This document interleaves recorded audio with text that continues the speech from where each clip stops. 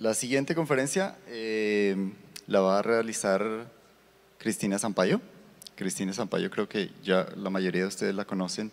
Eh, es, la, es la jefe médica de CHDI y Cristina fue educada como médico y como eh, doctora en, en, Lisboa. Sigue vinculada a muchas actividades académicas en Lisboa y básicamente en CHDI tiene tiene bajo su supervisión eh, la gran mayoría de, actividades clínicas y, la, y, el hecho de que Enroll HD exista y pueda hacer presencia en Latinoamérica se debe en gran parte a su gestión. Entonces, Cristina. Thank you, Roger. Um, buenas tardes. Uh, I, I'll, I'll, I'm going to speak in English because my Spanish is not sufficiently good, but um, I understand well Spanish, so if in the end anybody has any questions, you are free to make them in Spanish. Um, what I'm going to speak about is mostly about a new method.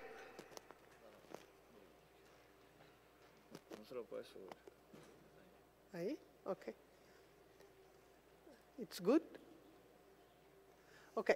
So I, am going to speak about a new system of uh, a new language to speak about Huntington's disease, but in the context of research. It's very likely that in the future, after a lot of research is done, this new language will be applied, maybe with some modifications, to the clinical practice. But at the moment, this is a system that is intended to be used in clinical research. And it is extremely important, I'm going to explain why it is so important, that uh, what we now call the Huntington's disease integrated staging system, and uh, a couple of my colleagues already mentioned it during their talks, the, the process that we took to develop this system and the impact that this system will have in the research in general. Just to say that uh, we are now developing a, a, second version of Enroll HD that already we spoke a, lot about Enroll HD. So we are planning what we called Enroll HD 2.0. And in that new protocol that will be rolled out in the coming years, the selection of participants for enroll and the classification of participants in enroll will follow uh, this system. So let's see if I do better than Bernard with this thing. I don't. Okay, so uh, uh, first of all, probably I will not have a lot of time to go over all the details. And so just to say, this is the paper where this system has been uh, explained and, uh, and it is uh, published in detail. I'm the senior author of this paper, so you can, you can look for it. It is very, fine to, uh, very easy to find. It's published in Lancet Neurology. Okay?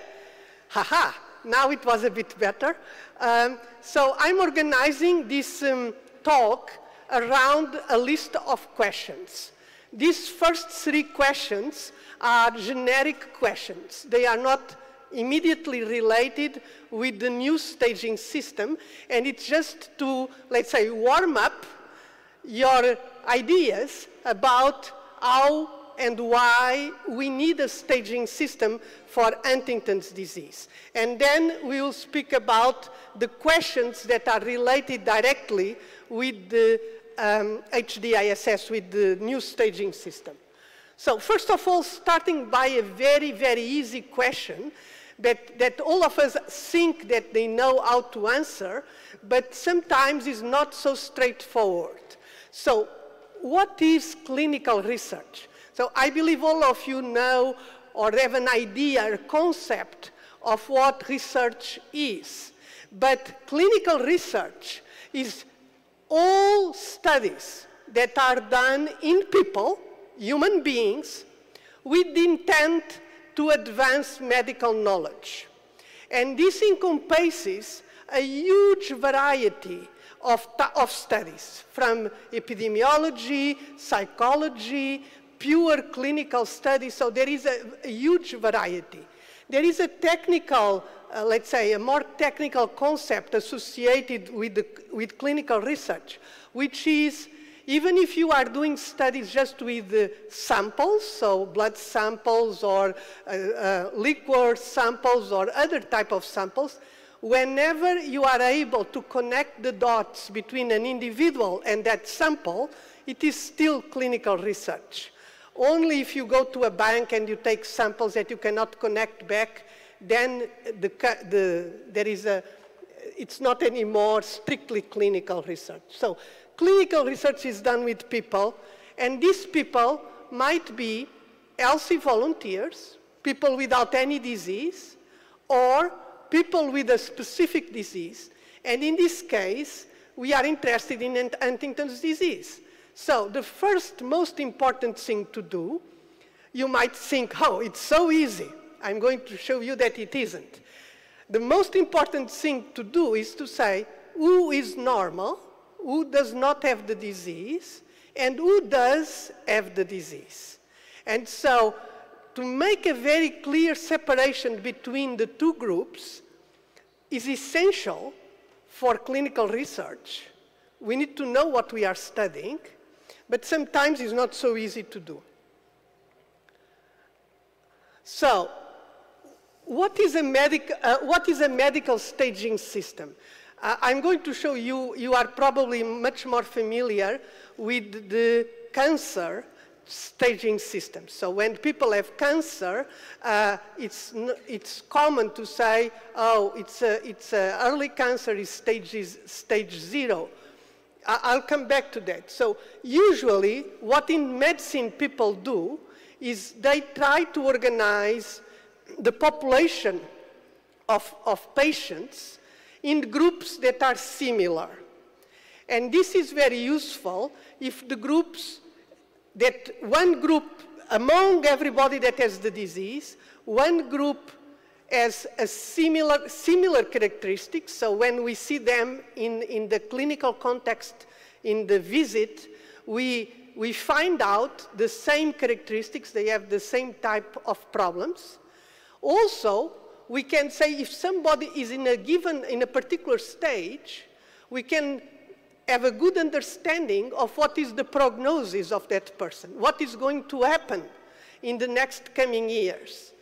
And for the health systems, it's very important to know that people that are in a particular stage will require a, a particular level of care that costs also a certain amount. So having this uh, organization in, uh, in, staging systems is extremely important for the development of new uh, drugs, new technologies, and for, I have to say, for the governments to make decisions about how they, they support them, how they reimburse them. So it's, it's very important.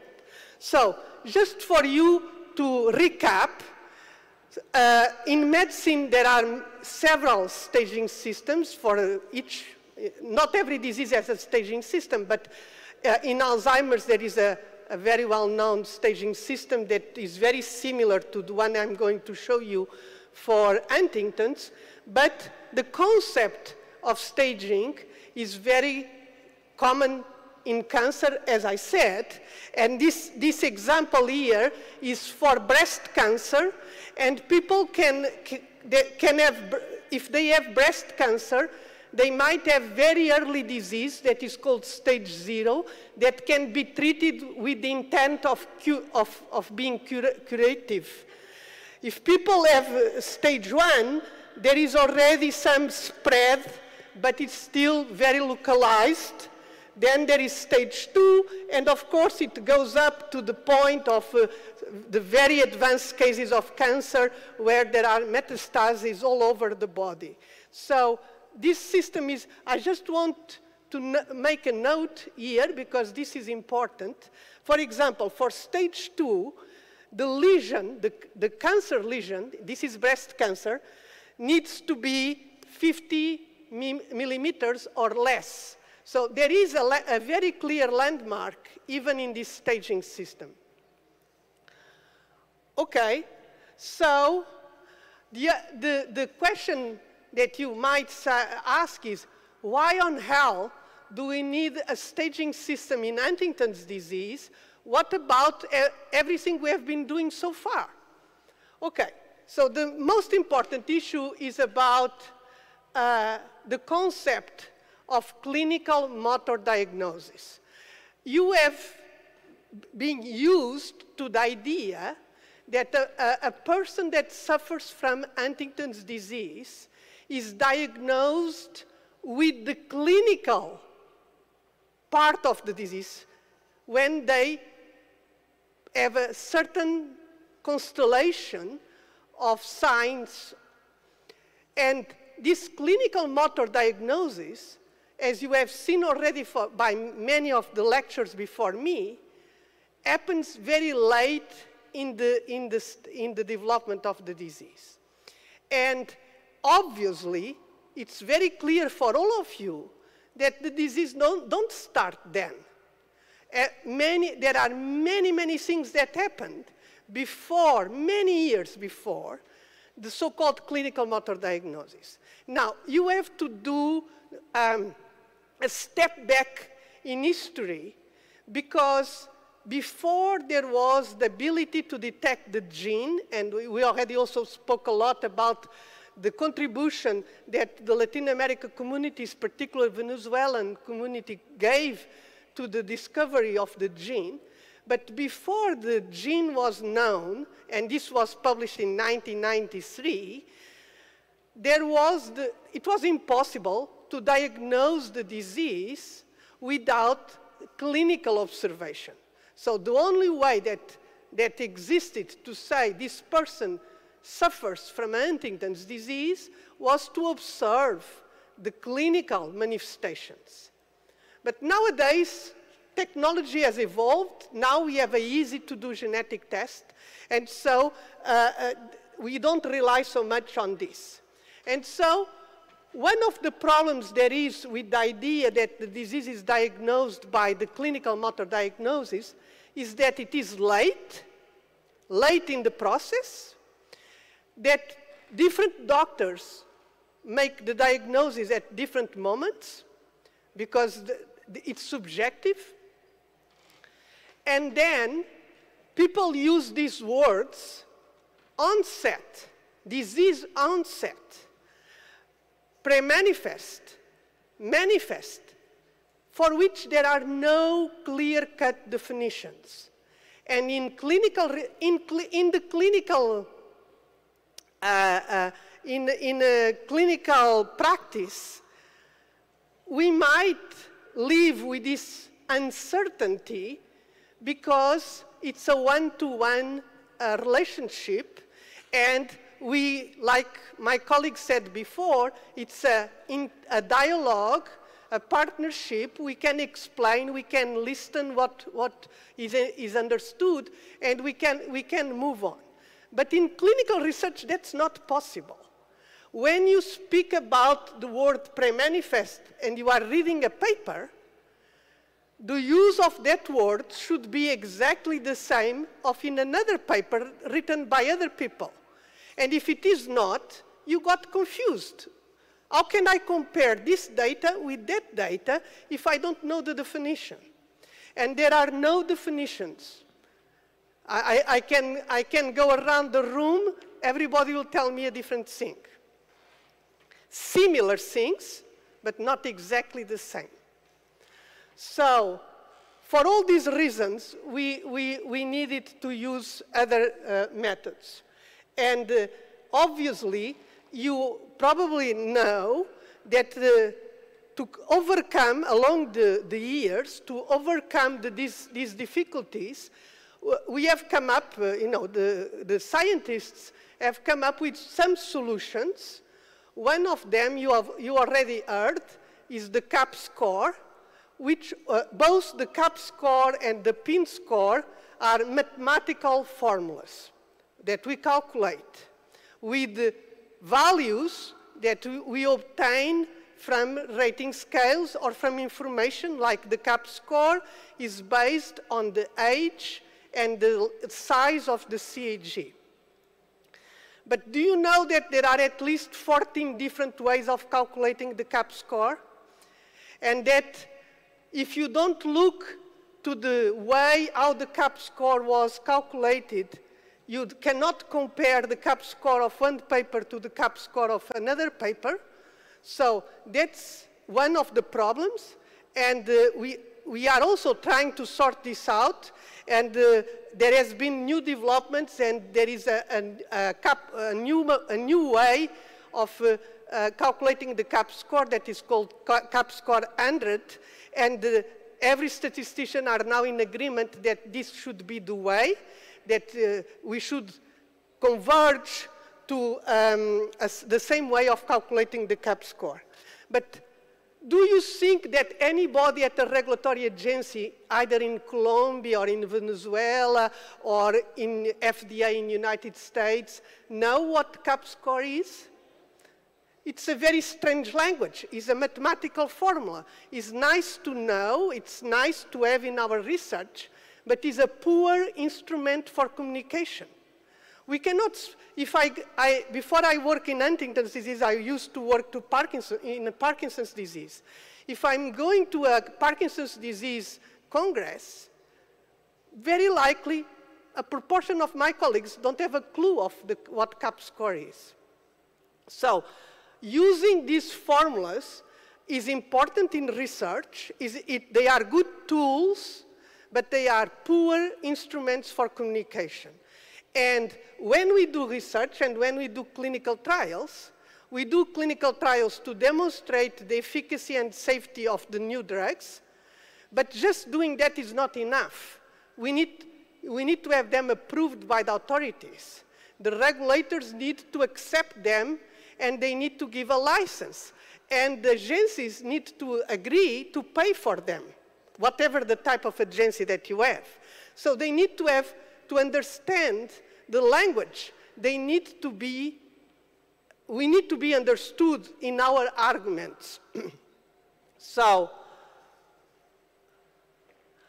so that's, all these are the reasons why having an integrated staging system are so important for clinical research. is, mo is mostly for, communica for communication and to allow for the harmonization of the data across studies. So uh, the title of this slide is uh, uh, who created the HDISS? I don't like the word created um, because it seems that we were inspired by God. Uh, uh, it's not, uh, it was a very detailed and thoughtful process. It was based on, on clinical evidence it, it is an evidence-based process. But the context where we developed it was under the auspices of the Huntington, uh, Huntington's disease uh, regulatory science consortium that uh, was uh, established within an organization in the United States that is called the C-Path Institute, who, uh, and FDA is a founding member of the C-Path Institute, so when we developed this, this uh, staging system, we had so-called informal feedback from FDA. You know that FDA is very, very careful what anything they say in public, and so they are very careful with the, their commitment to anything. But the fact is they participate in the meetings, they, they, review, they reviewed the draft of the, the process, so FDA is, uh, was inf an informal partner in the process. So once again, we need to thank everybody that, uh, that participates in studies, in research, uh, even if that research is not yet with drugs, because this, this research that we call observational is foundational for everything that we can achieve after. And we, we are very grateful to all participants, not only in Enroll, but also in the, these other smaller studies, image, predict, and track. Uh, all of this data was combined and used to, to, to develop the uh, staging system. So, oh, so first of all, the, within the context of the staging system, the definition of what is Huntington's disease is based on the genetic test. We get rid of this uncertainty. Are there clinical signs? Are not, there not clinical signs? So forth and so on. If a person is positive for the test, it, it, that, that, person is classified as a, a person with Huntington's disease. The, the, Huntington's disease staging system divides the process of the disease in four stages that cover the lifespan from, from birth to death. And uh, people in each of the stage have very clear uh, defined characteristics that I'm going to, to explain which they are.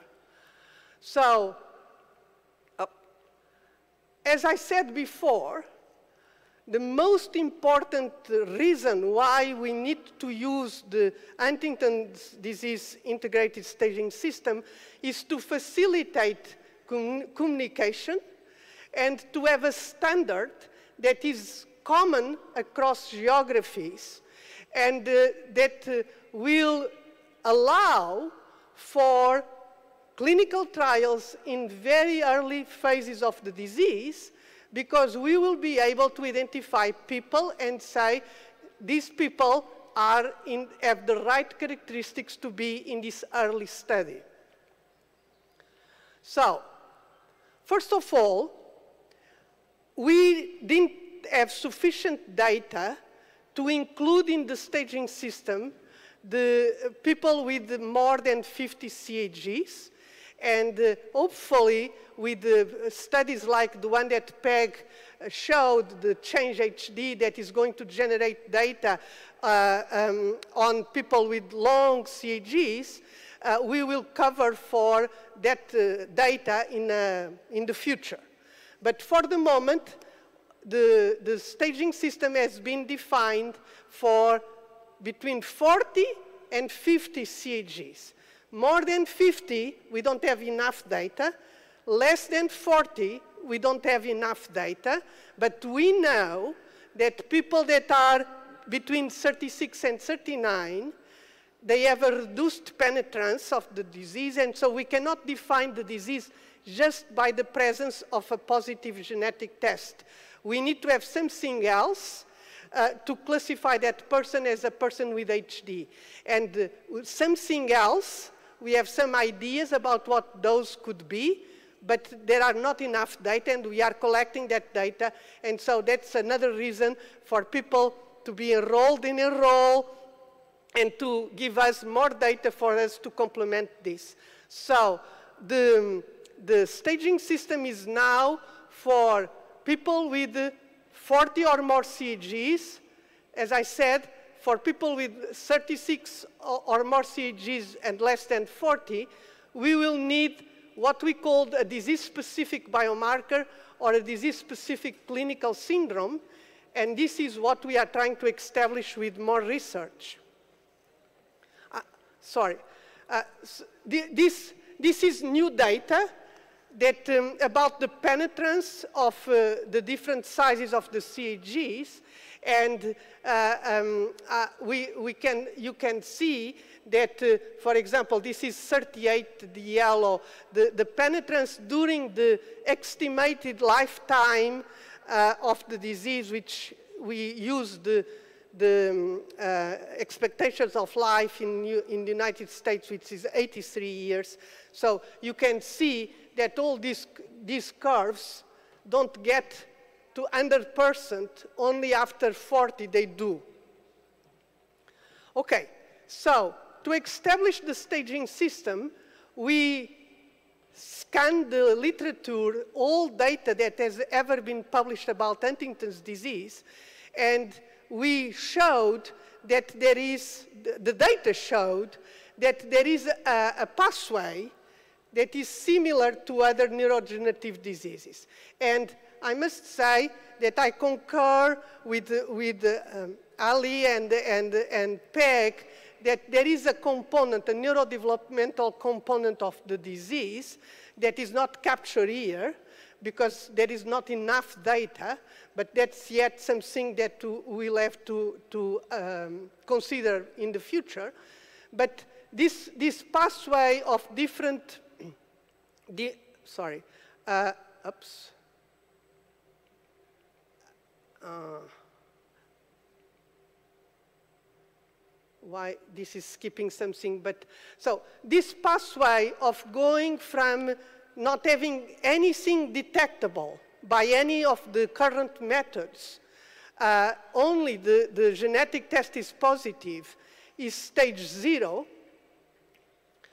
And then we get to stage one, which we have markers of neurodegeneration, but not yet, we cannot detect yet any clinical sign with the current uh, uh, rating scales.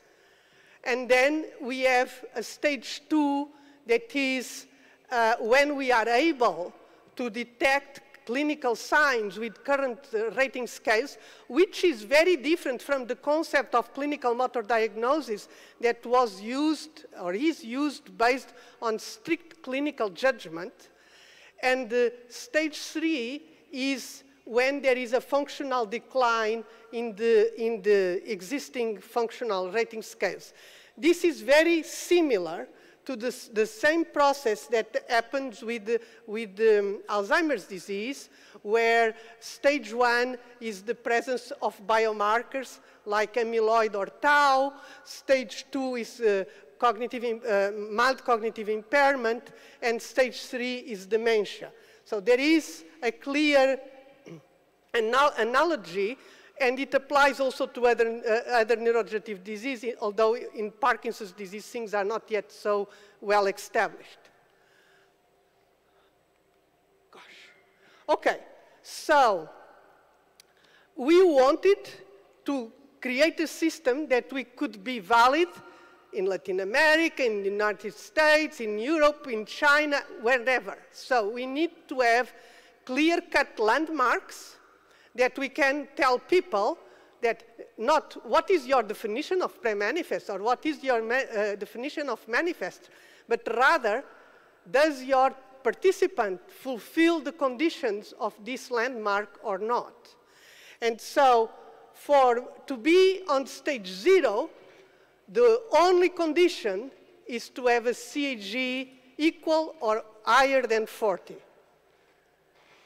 to be on, uh, on stage one, which means that the neurodegenerative process started, our research of showed the best, the best measures to define that the neurodegeneration have started is the volume of the caudate or, and, or the putamen. For defining the presence of a clinical sign or symptom, again, rating scales, based on rating scales, not on clinical impression, is the total motor score or a cognitive measure that is the symbol digit modality test. And, and for the functional decline, the, the choice end up on the independence scale and the total functional capacity scale. I know that you are going to tell me that there is an element of uh, uh, um, judgment, clinical judgment, when these scales are uh, rated. That's true, but they are more standardized than just a pure clinical impression. So, the other thing we did was to, de to define, based on data, what was the cutoff what was the value for these landmarks that put a person in that stage. And we use the same methodology that the World uh, Health Organization uses to define the gross percentiles that everybody knows. Everybody that has a child knows that when they take their, chil uh, their, their uh, uh the child to the, to the doctor, the, um, they check if the weight of the child, let's say your child is six months, they check the weight or, and they will um, check uh, the, um, uh, also the perimeter of the, the, um, of the head and they will check the, the height and then they will see if your child is developing according with the predicted or if they are out of range.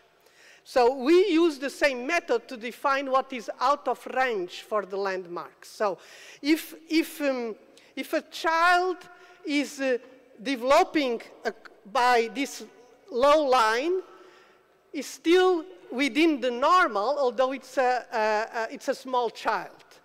But, but uh, if they are below, then there is a problem that we have to find out. So this is the 5% uh, 5, 5% percentile.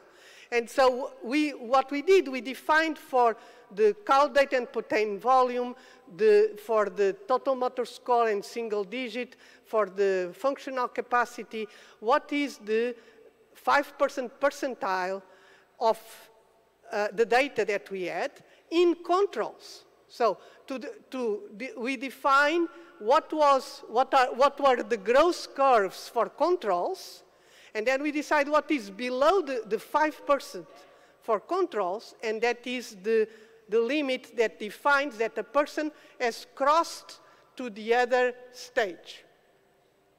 So this is the sequence of the stages, and this is what they mean. So stage zero, people have Huntington's disease, but they have no change in structure, no change in clinical symptoms, and then there is a, a progression. You might say, ha, not everybody goes like that. The fact is, the large majority of uh, thousands of, of profiles that we analyzed, they progress linearly through I'm not saying linearly in a mathematical way, but they progress sequentially. There is a minority that doesn't. It's about 12%, which is exactly the same percentage that was found in Alzheimer's for people that don't follow the sequence of the Alzheimer's uh, stages. So it's roughly the same number. So for the large majority, this is a sequential process, and, we, and if we have a person that is in stage two, we can assume they, they were in stage one and before they were in stage zero. It's a, it's a sequential process. okay, so these are questions that, uh, um, that, that, is, that are important to be sorted out because people that currently know they have uh, Huntington's disease or they, they have somebody in their family they, that has Huntington's disease, uh, they, they might want to know um, how can I know my HDISS stage or do I need to know my HDISS stage? So if that person is not thinking in participating in clinical research, they don't need to know the HDISS. The HDISS, for the moment, is for clinical research. So we don't need, nobody needs to be worried to know I'm stage one, I'm stage two, I'm whatever. Doesn't matter. But for people that want to participate in clinical research, they, there are two possibilities. Uh, one is there are people that nowadays go to the internet and they look for studies to participate. They, they shop for a study. And might not be so common yet in Latin America, but in United States, in Europe is very common. People proactively look to studies where they can engage, where they can participate. And if, if one of you is like that, you need to know your stage because typically the studies advertise by saying, we are looking to enroll people in stage two, or we are looking to enroll people in stage three. So the person that is willing to shop for studies needs to know. And so I must say, this is more or less like when you read the label of a drug and the drug says, if you overdose on this, call your doctor. And as a doctor, I have always been scared that anybody would call me about some drug that I never heard about. So, and they have uh, overdose on that, uh, on that drug. So this is a kind of a joke because what we are saying is if you want to shop for a study, you ask your doctor what is your stage. And so for, for you, the doctors, to tell them what their stage is, what I can say is we have a calculator in the, in the website. You can input the numbers of the person and you'll get the response. At the moment, it's not yet very friendly. It's not very easy to use yet, but it will come soon. The other, the other way is your doctor tells you, I, am doing this study, and uh, I would like to invite you to come to, to this study and participate. And uh, for that, the doctor needs to calculate your HDISS stage. And now, there are two situations. Either you want to know, and uh, your doctor can say, yes, I'll calculate it, and if you want to know, here, here it is. Or you might say, ah, no, no, it's too much information, I don't want to know. And uh, okay, um, he, does, he does not need to tell you, but this is a bit uh, catch-22 situation, if you know what I mean. It's, uh, uh, you are caught for having a dog or, or, or, or, for not having the dog. That's a Portuguese say, I don't know if it has translation, uh, which means that if you accept to be in the study, and you, you have to, to, to sign the informed consent, etc., you are going to learn what are the conditions to be in the, state, in the state study, and therefore, even indirectly, you are going to learn your stage. That's what he's saying here. Okay. Once again, if you don't participate in clinical research, you don't need to know the stage, and there is no impact whatsoever in your routine clinical care. It's, it's irrelevant at the moment. If you want to participate, then at your request and your consent, your doctor can tell you what your stage is. Another, another question that comes very frequently is how?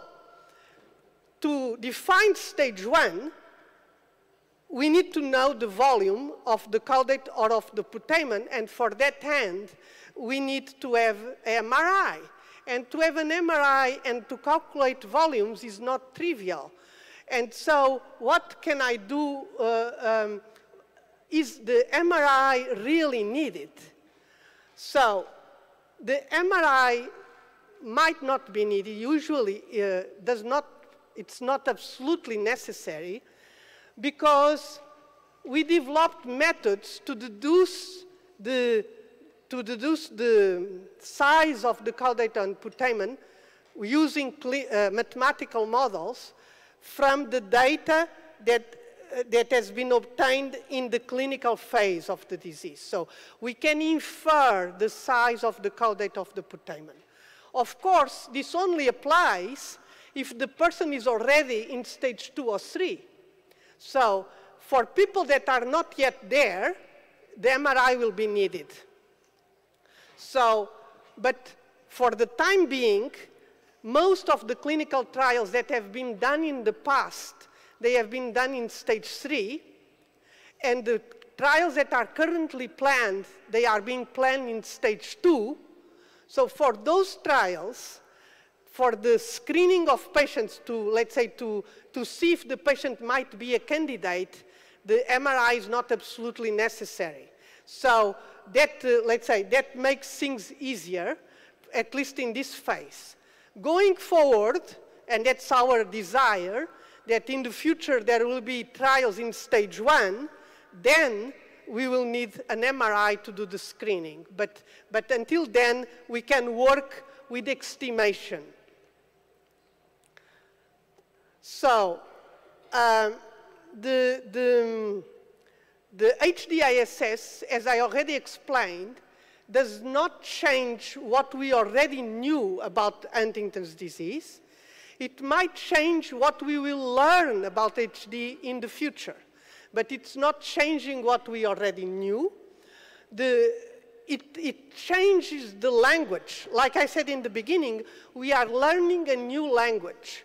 And in, in the past, people were convinced or they were under the impression that there was a magic moment, in this sense, not a good magic, but a magic moment where the disease appeared uh, at the moment where the clinical motor diagnosis was made.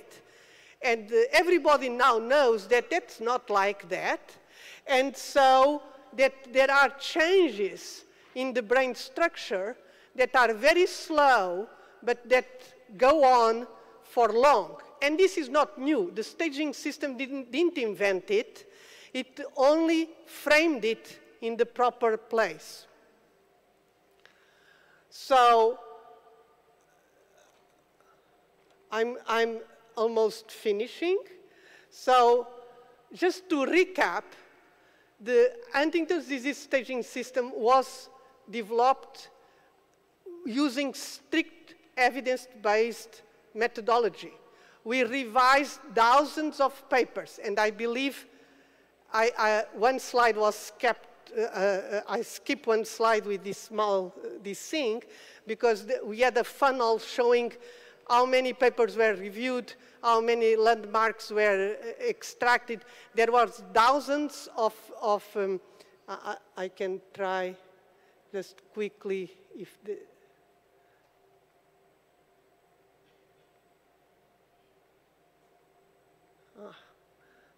Okay, here it is. So we review all the literature and uh, we extract potential landmarks. The total was 2,790. And then we only select uh, landmarks that have been studied in, in, in uh, cohorts that were large cohorts and for which there was longitudinal, data. So it's a much smaller number, 371. Then we selected unique landmarks because uh, many times there was repeated measures, uh, things that were the same. We end up with 176. Then we select the ones that had prognostic value in mathematical models, at least two independent models, or one model that used two different cohorts, and there was 27.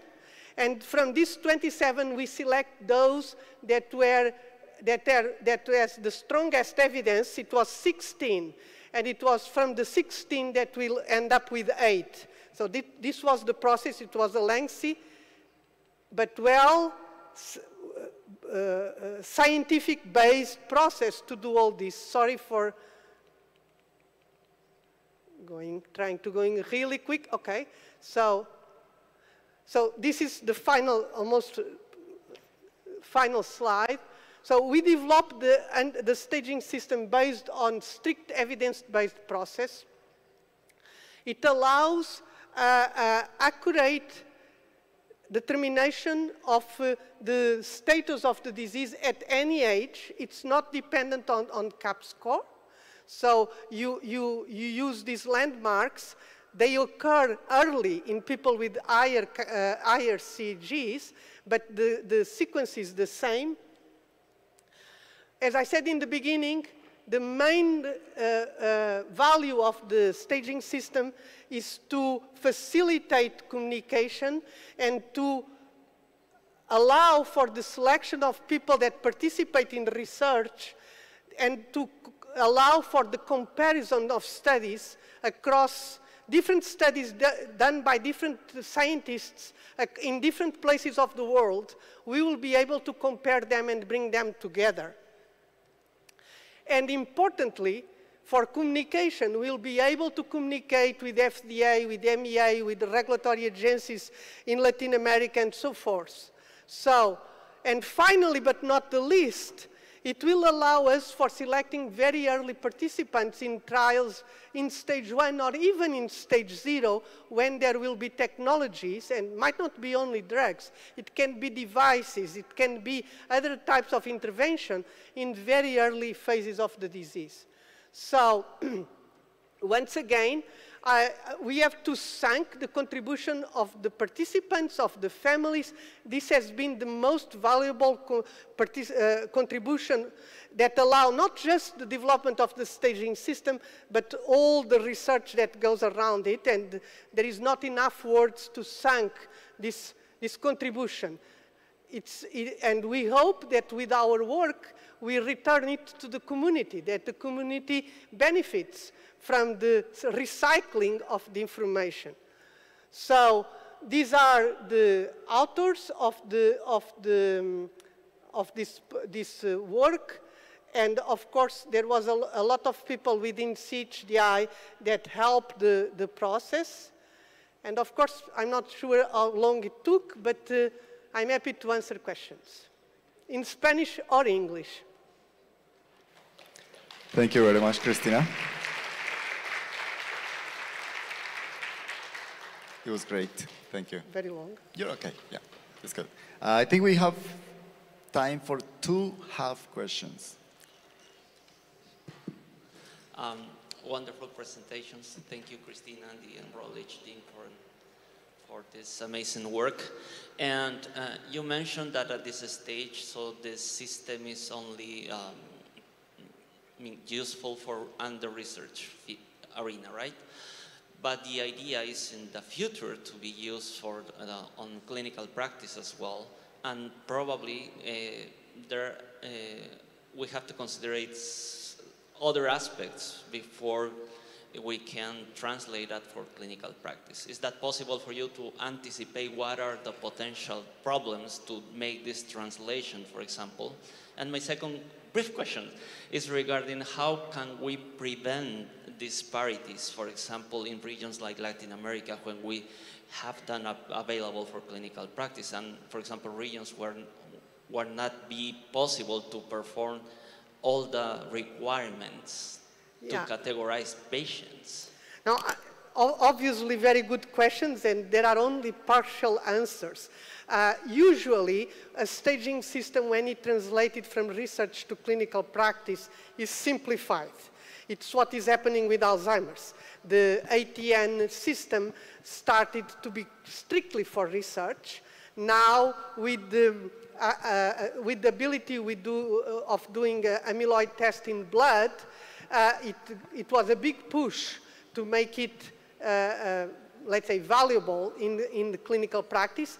But it, it took many, many years, a decade or more, since, since it started to be spoken about in the context of research up to the moment that started to be applied in clinical practice. I mean, Alzheimer's. So taking this by analogy, I would say very likely it will happen, the same with the, uh, the, Huntington staging system. There will be more and more studies that use it. At this very moment, almost any company that is planning a, a, a trial is using the staging system. I mean, this month or last month. So the next generation of trials have, will have used the, the staging system. Hopefully, one drug out of those trials will be approved, and then you will have a drug that has been approved for the use of uh, in stage two or in stage three. And then this will transpire for clinical practice because you have to, to um, de determine who is in that stage to give them the drug. So it's a slow process and it's a bit interactive. Uh, regarding uh, inequalities and disparities, all of, of course, we have all to give our small contribution to um, to um, so solve part of the problem. It will not be solved just by a magic wand. Uh, we'll have to, to, to make it happen. I, I recently learned about a, um, essay attributed to Desmond Tutu that uh, I think it's uh, relatively well known. That is the question, how do you, how do you eat an elephant? And Desmond Tutu answer, bite by bite. So I think the inequalities of the world, which you have in Latin America, but we also have in Europe, and we, in the United States is huge. I think it will, buy, it will be a bite by bite, small step by small step, and we'll get there. Thank you very much. And of course, as always, uh, if, you, if you have any other questions, just please feel free to approach Cristina any other time. Um, Thank you.